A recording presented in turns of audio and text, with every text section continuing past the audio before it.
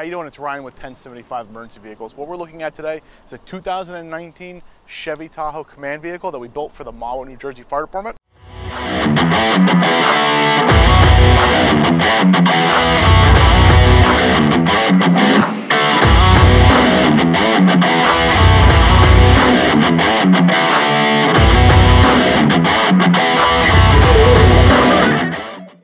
So taking a look at the overall vehicle, we have Sound Off Signals Blueprint 3.0 multiplex system in it.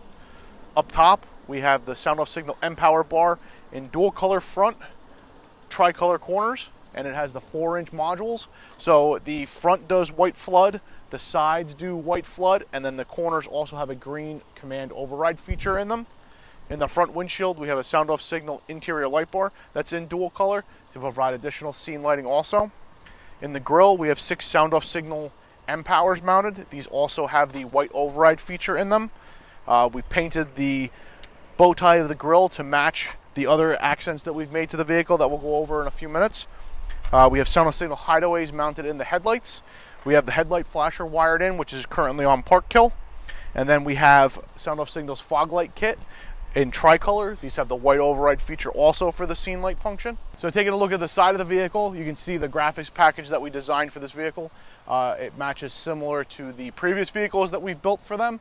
Um, we've taken their patch and we've actually uh, revamped it from the last vehicle and matched one of their new engines that just came in. Um, and then what we've done is this is a black 3M reflective material, and then we've gone over and we've printed the department name on top of that.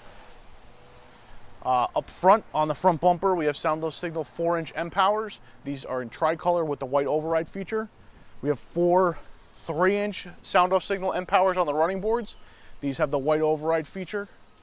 They also come on white when you open the doors.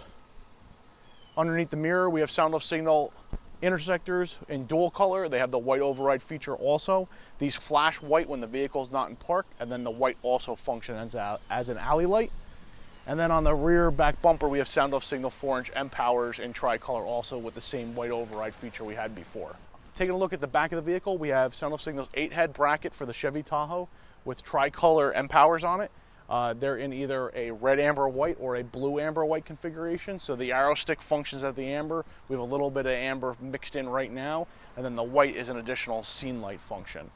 On the rear plate, we have Sound Off Signal dual stacked N-Forces in tricolor. They have the white override feature for reverse and rear scene.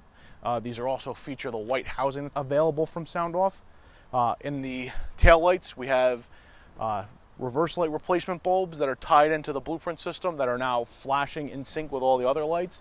And then we've uh, rewired the parking lights to also into the blueprint system to give them more warning light feature. And then on the back bumper, we have Sound Off Signal 4-inch M-Powers in tricolor with the white override feature. Uh, they come on with reverse and when the rear hatch is open or the rear scene function, providing a lot of functionality into the vehicle that you wouldn't be able to get out of a traditional electrical system. So we've activated the command feature, which is the green flashing corners of the light bar. So both sides have the green as a tricolor module in the light bar, and this helps signify command when they're operating at a scene that they can turn on. Uh, this is also available as a steady feature, and this actually overrides the warning lights. You can see that we have the amber arrow stick function uh, activated right now, so this allows them to use it as a traffic director. What's nice about the sound off signal is it's a progressive system, so one press will do left, one press will do right, and then the third press will do center out, and then the fourth press shuts the unit off. Uh, with the blueprint system, the arrow stick is synced with the rear arrow stick with the red and blue so that they have uh, the availability to use the arrow stick from a distance and you're still able to see it. And it just adds another feature to the vehicle that you normally wouldn't have with a traditional electrical system. Okay, so what we've done is we've activated the takedown, left alley, right alley, and rear scene feature. Um, gives you a 360 degree scene function. So all the modules in the front are now turned to white. All of our side lights are white, which give you uh, scene lighting to look for houses to help light up a scene. Uh, anything that where you may need scene lighting, you have plenty at nighttime. So with the hatch open on the vehicle, you can see the rear command area that we've designed specifically around the customer's specifications. Um, on the rear hatch starting out, we have three inch sound off signal M-Powers in dual color. On the hatch, we've installed all their radio speakers with a special bracket that allows the speakers to be removed in the event service is needed. And then we have two sound off signal strip lights that are mounted to provide scene lighting on the command area when they are working from the back of the vehicle. Uh, we've designed a custom command cabinet for this. It has a full depth slide out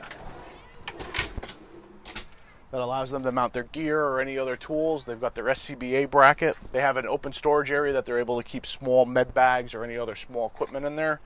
We have a parts drawer. And then we have our side flip ratcheting magnetic command board. So this allows them to operate here. As you can see, we have the radio faceplate angled to work better with the side flip board. And then they also have a mount up top here uh, that they'll be installing with a USB port for their iPad that they use for their.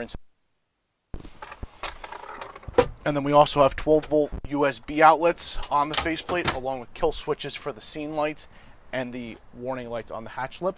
And then we have two open storage areas on the bottom. One's going to be for their extinguisher, rope bags, and they also have a pass through for their uh, irons to protrude into the back of the cabinet. So what we're looking at is the front console for the vehicle. Uh, we've installed the blueprint controller along with four of their radios, their cup holder, uh, we have a locking compartment in the map storage area, and then their portable chargers recessed into the back.